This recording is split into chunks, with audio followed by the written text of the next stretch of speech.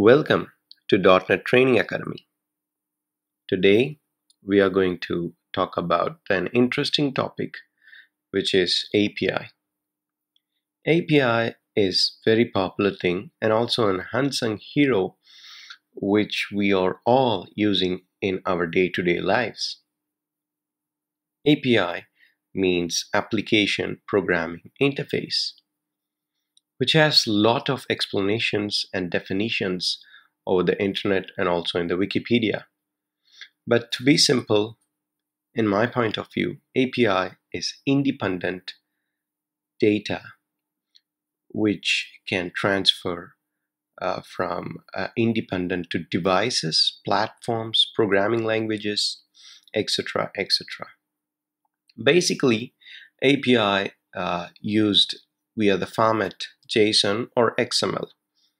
The data will be transferred in these formats.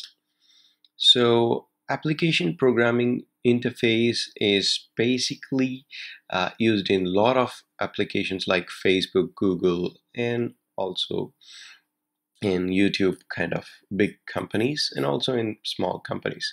Uh, now we just talk about this in an illustration.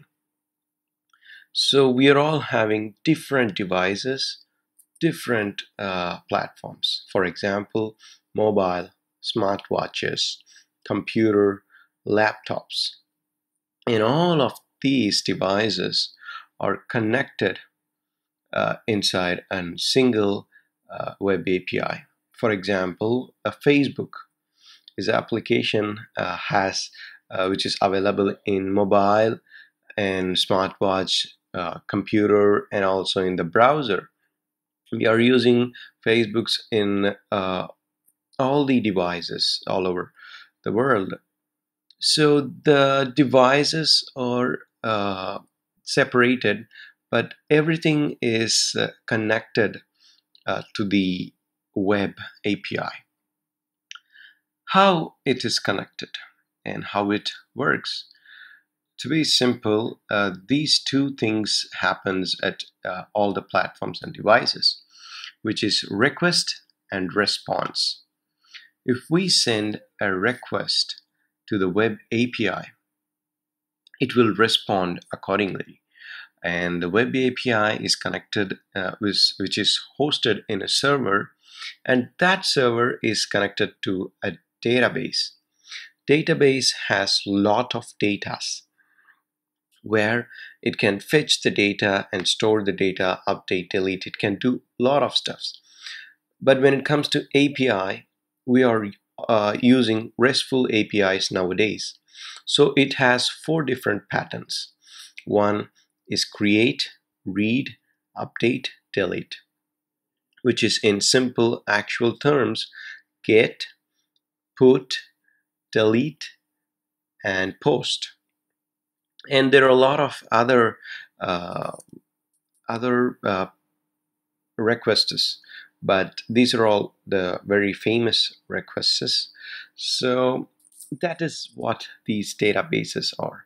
So the connection will be uh, the request and the response. If uh, Facebook is connected a request if we request for some data it will uh, fetch from the database and it will respond to us uh, it is independent of whatever devices. If we update uh, some stuffs in one device, it will be reflected and synced to all the devices. So that's the plus point of using API. So there are a lot of nitty-gritty things uh, people talk about API rather using direct database. But API is really a cool thing. Uh, so this is the API and this is how the API works. So now, why to use API? People ask, uh, I read about in a lot of articles, uh, people talking about using a direct access to database rather using API. It is a really good question, but the thing is there are a lot of constraints and a lot of uh, disadvantages using uh, direct connections to database in applications or softwares. uh, not in softwares but in applications it is not really good thing to do. Because uh, there are some advantages using API which is uh, reusability of code. I mean which means the reusability of data. We need not to uh, create a different code base for different um, devices uh, all we need to do is to create a single code base, single uh, model, a single schema of code base in our application backend. And after we created the backend as an API, uh, we can pass that API uh, all over our devices and we can use that API uh, in our different devices programming languages. So it's because uh, in Java, the people use uh, in native mobile Android application, they use Java. And when it comes to iOS, they use Swift. So there are a lot of programming languages are independent, but we it's something and uh, with something uh, it's really good. The portability of code it's also a really good thing to do portability of code, which means uh, we need not to uh, declare uh, separate models for separate devices. A single model which can be used in all over the devices. And the last thing is security. Security is the main feature uh, on using API because uh, we all know that APK can be reverse engineered to code. Shocking right now? Yeah, APK can be reverse engineered to code using Android Studio so that we can, uh, if we use connection strings for our database, what actually happens means we can we will pass the uh, server name, username, database name, and also the password, which is really a mess thing. We should not do that. If someone knows our database configurations, they can access our database they can do anything they want. They can delete your records they can drop your records they can put vulgar they can hack everything that you build. So it's the biggest security issue. By using the api we are going to host our web uh, application into the server. The server takes care of it. Uh, server is uh, really hard to hack and also the credentials for the server will be separated from us. We only know our server credential no other can view. All we are going to pass or all we are going to distribute is the on the API which is application programming interface. So the three things reusability of code portability of code and also security. Reusability of data I'm sorry. Beg a pattern so here uh, I'm coming to Visual Studio. I'm going to create new project. In new project, I'm going to select the ASP.NET MVC project. So inside of that, I'm going to click the Web API. Uh, I'm not going to use the uh, unit testing for this application so that I can uh, click the next button. So I'm going to type the project name as well as the solution name. So here I'm not going to use the git version control. So I'm just going to create the ASP.NET MVC web application by the name of Web API demo. So you can also use Visual Studio, uh, which is uh, a little bit better than the Mac version of Visual Studio. So this is the uh, uh, starting application and now it is just adding the NuGet packages. It's prompting me to add some packages for the MVC application and it will also prompt me to add the uh, packages for web API yes it's just prompted me and I just accepted it. So after the all the packages successfully added uh, what I'm going to do is to run the project uh, build and run the project so I just now I just build the project build succeeded now I'm going to run this project so in the local host at the URL of uh, here we are having an output Uh, welcome to ASP.NET MVC 5.2 on Mono. So what is the output? So uh, uh, we'll just go through it. So here inside of the view, go to view, uh, we are having that uh, tag data.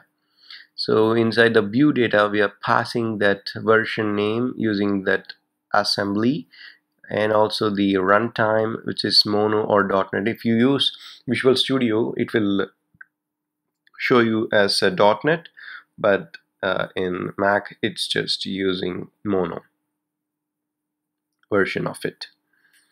So this is not our uh, goal and this is beyond the scope of this lesson. And we are now I'm going to add the model add a file in the model. So this is uh, basically a law system project which has a lot of laws, uh, law cases in law systems. Uh, so I'm going to create a law system. And also I'm going to add some properties over here. And the properties will be public uh, string or integer uh, a law ID and property string law name.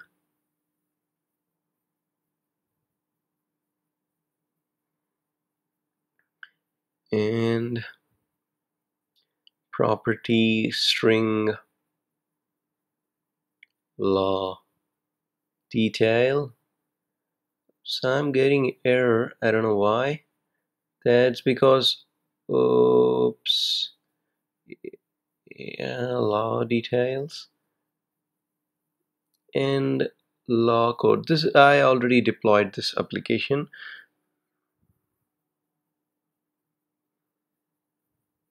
so that I can uh, demo these stuffs. And finally law code. Oh so oops. I just entered all the properties inside of the constructor which is a bad thing. It's not the right syntax. So I'm going to cut that and paste it outside of the constructor which is inside the class. Now I don't need the constructor anymore. So that's it and these are all the fields in the database and this is and law system is the table. Uh, I think I hope you guys know the database consists of tables. Tables consist of rows and columns and the rows is also known as fields. I'm sorry columns is also known as fields. Uh, the fields are law ID law name law detail and law code. So I'm also going to add the DB context which is actually uh, used to configure our database using the law system So law system DB context.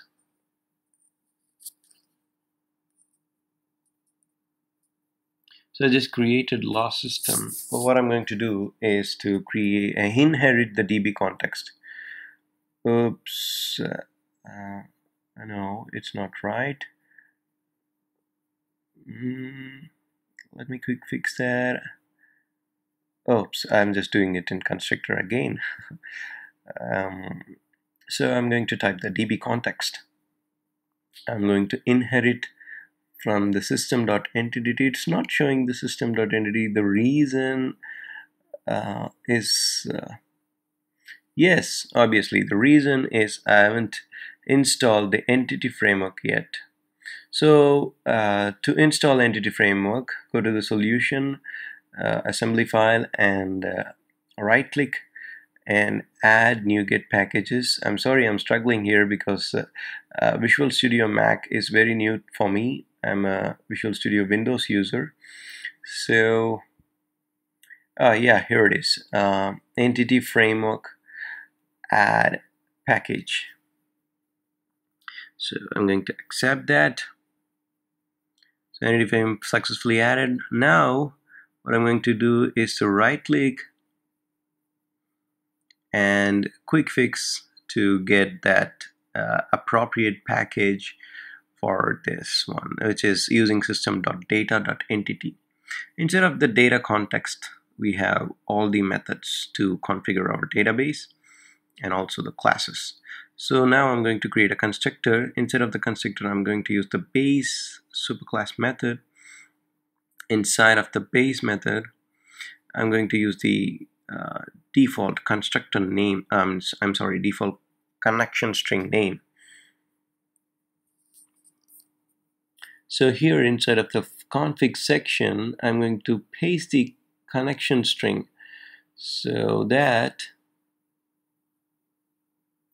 I'm just going to expand the sticky note where I already copied the lot of snippets, code snippets, which will be save our time for this video. So this is the connection string. Um, this is the name of the connection string and the connection string has the server name, username, and the passwords, DDB name, uh, oops I'm not going to show that connection string. You can get the connection string from your hosting server. In my case I'm using A2 hosting uh, because I don't want it to deploy this in local. I just wanted to use uh, the A2 hosting uh, server. Uh, inside of the Windows server I just hosted my application and also the database so here. So I just created and I'm going to save the file. I just copied that uh, connection string name and I'm going to paste it over here. So the next thing is going to be to create database set db set. Collection instead of the collection I'm going to use the model name which is the table that we are trying to create which is a law system. And the property name is going to be the plural which is law systems. This is not the fab bit of uh, uh, pronunciation. You can uh, use more creative you want productive.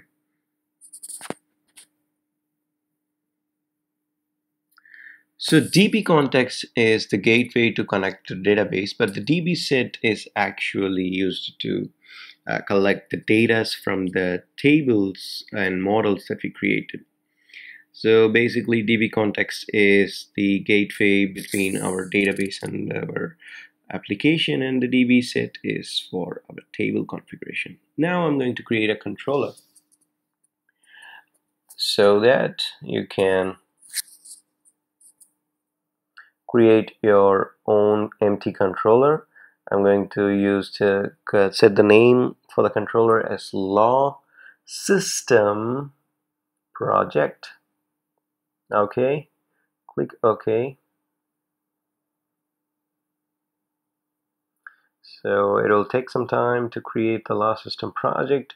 So here I'm going to, instead of inheriting the controller, I'm going to inherit API controller. So right click quick fix using system.web.http uh, which is particularly used for uh, using web APIs. So I'm going to reveal the uh, action result which is used by the controller, default controller. So before uh, this stuff, I'm going to explain a couple of things. First one is going to be the route config, which uh, and second one is web config. So route config is something uh, where our controller route and action will be configured. So there is a routes.map route. We have a URL which has a pattern which is controller slash action slash ID. So if we add some, so the default connection is going to be the home and index. So the web config uh, API config has the same uh, route, but the difference is uh, we are going to add the API before the controller and ID. So that using that API controller, we are going to access all our database. So before that, I'm having a code snippet. I'm just going to use uh, through this entire video course to for the sake of saving my time and also your time. So uh, what I'm going to do is to create a loss DB system DB context and create an object name for that. So object name is going to be DB new law system DB context. I just set the access specifier as private. And now I'm going to quick fix to import the models namespace so that I can access the LottDB context class. And then I'm just going to copy the another action but actually it is a method but when it comes to MVC we should call that as an action. So here in this project case it's not loss uh, it's loss system. And uh, the db set also it's not loss it's loss systems not loss system. Yeah we just declare the property name for the db set as loss systems not system uh, you can also check that out uh, inside of that inside of that law DB context. So iQueryable method is the interface queryable Inside of that queryable method collection. I'm sorry, that's not a method. It's a collection. Instead of that collection, we are just passing the type loss system so that it can access all the fields inside of the law system type. Uh, uh I mean the properties. Uh, it can access law ID, law name, law detail, law code, and the get loss uh, method name and uh, the db is the db context object name and the table name which means the data set, data set name is loss systems. So this is actually the action used to fetch all the data not a single data all the data from the database uh, for any devices or any platform as in JSON or XML data. So the DB set loss system, which consists of uh, so now so now I'm going to copy that and paste this additional code which is uh, law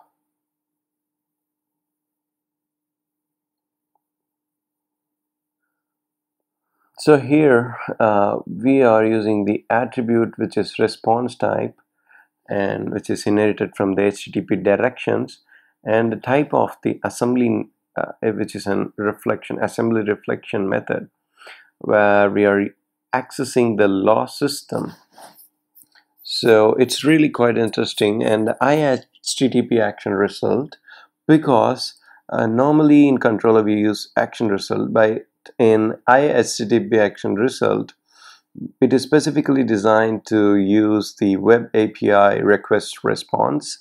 So in this case, the request will be uh, via a specific record, which means we are not only going to pass the uh, action and controller name, also we are going to pass the ID, uh, which is integer ID. The loss system, from the loss system, uh, which has the db.losssystems.find. Loss systems is the um, loss system is the, the class name and the loss is the object name and it is uh, the find method will fetch the data a specific record from the database and it will retrieve uh, that specific record to us so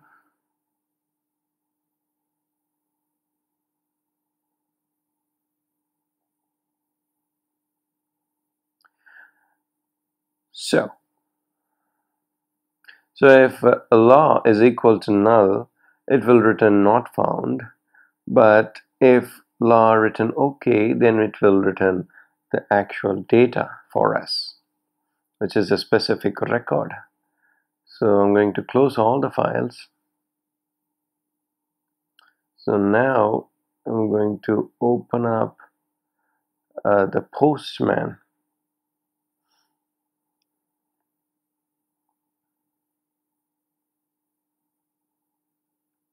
The postman, if you are not uh, if you don't have postman, uh, I'm just going to clear the history. If you don't have postman, uh, you can go and surf around the internet just by typing.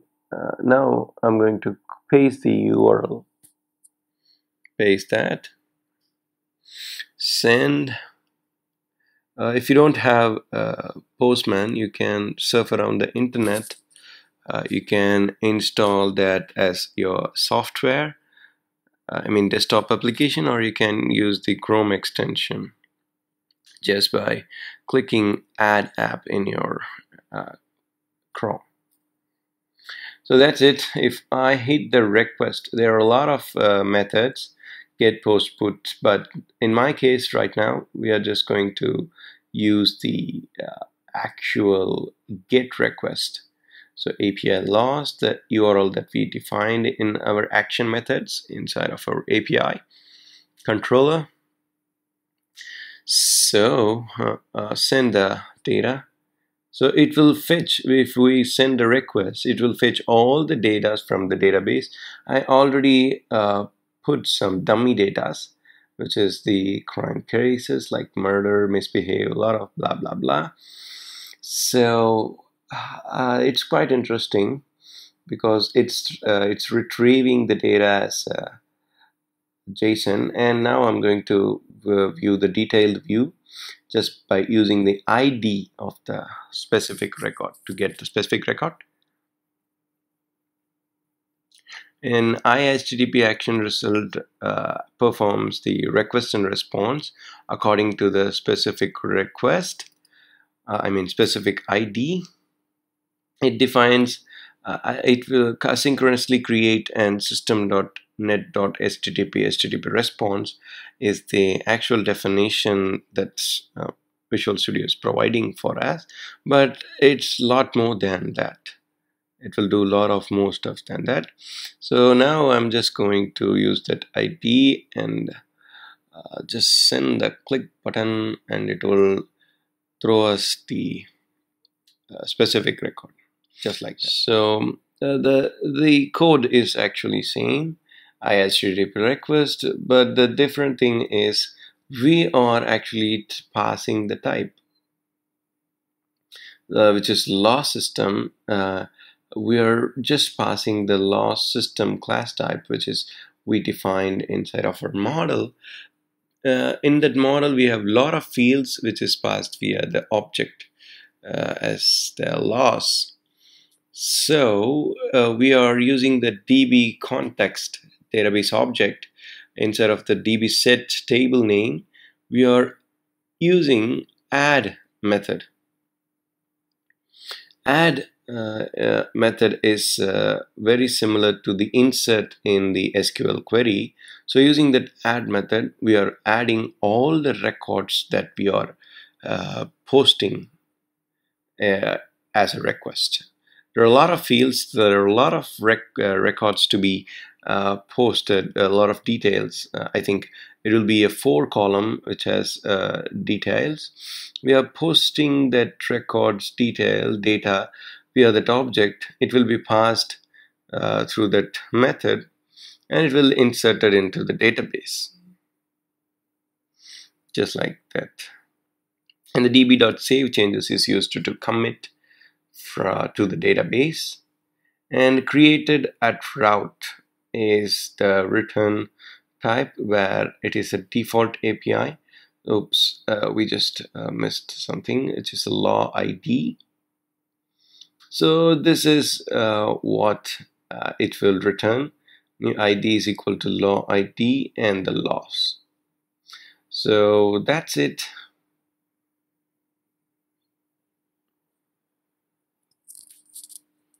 If we try to create a new record from the postman, it is very similar to the get request URL. Uh, API loss. So now I'm going to change that from get to post. So uh, go to the body instead of the raw section, just use JSON format of typing.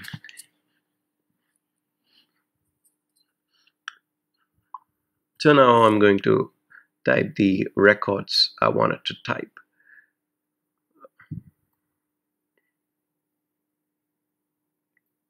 So after I typed all the records, uh, what I'm going to do is to send a request.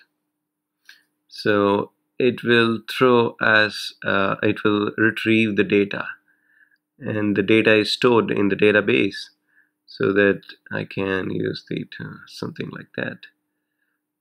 2006 uh, oops uh, yeah it's throwing 1007 the reason is I didn't change that from post to get so that's the error. Yeah it's just uh, incrementing one by one. So all I need to do is to change that from post to get so to retrieve the data we are retrieving all the data. Instead of the data we are having the three tray stars which is repeatedly we submitted. So this is what we have done. Chain snatch uh, which is uh, added thrice in our application. So this is it. So finally I'm going to close this application. To make that much more real time I'm going to create a mobile application just by clicking new project instead of the multi-platform and instead of the blank forms app. What I'm going to do is to create C sharp application.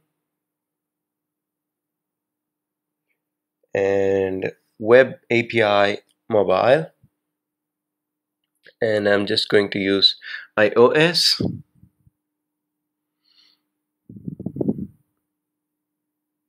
click next using .NET Standard and I'm not going to use the version control and also the test project. Uh, just create click on create application. So this is actually the application which is uh, created and uh, and it is adding some packages so it's going too long. So I decided to uh, take this core uh, session uh, into two videos. So this is it. Uh, this is how we can create a mobile application. What I'm going to do is to create a boilerplate template for our mobile application in the next video so that I can uh, e quickly explain what the actual concepts that we are going to implement in web API in mobile application. So that's it. Thank you. Uh, thank you for your patience. If you like this video please like subscribe and click the notification button and comment and share with your friends if you want a lot of cool stuffs. And this video will continue to the next part uh, by the boilerplate design code of uh, the mobile application. I'm not going to tell the UI stuff so that I only going to explain. So that's it. That's the end of this video